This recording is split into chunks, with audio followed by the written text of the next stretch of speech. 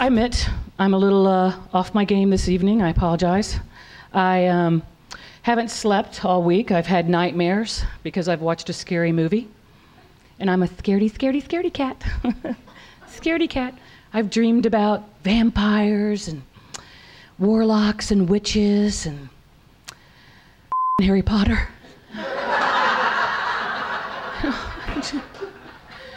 it's terrible. I'm just such a scaredy cat. Like when I was a kid, I would, when I was a kid, I saw a vampire movie and I was so terrified that I went to the kitchen and I got that garlic rope and I wore it around my neck and I started hammering up little crucifixes that I made.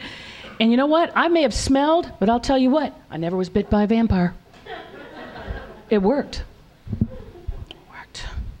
I'm from a small town in Texas, uh, outside of Houston, and we had a it's just to change the subject dramatically. It's it's different living in California. California is the fourth, fifth largest economy in the world, right? We have the population of 26 states all right here, California.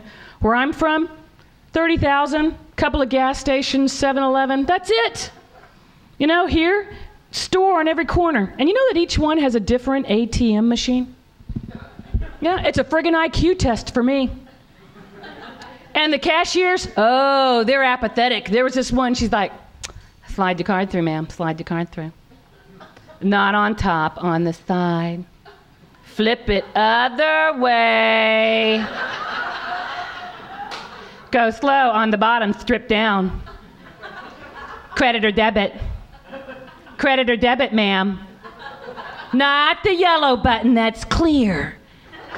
It's the blue button for credit or debit blue button for credit. I'm like, uh, there's two blue buttons. She's like, credit or debit, blue buttons, pick one. And I'm like, mm. cash back. Cash back, ma'am. I'm like, what button is it? It's a yes or no question, ma'am. cash back. No, thank you. Okay, press yes. Press enter. Press the green button. Press OK. Press enter. Press the green button. Press enter. Press OK. Press. Oh my God, you've pressed the red button. That's cancel. now we'll have to do it all over again. Slide your card through, ma'am.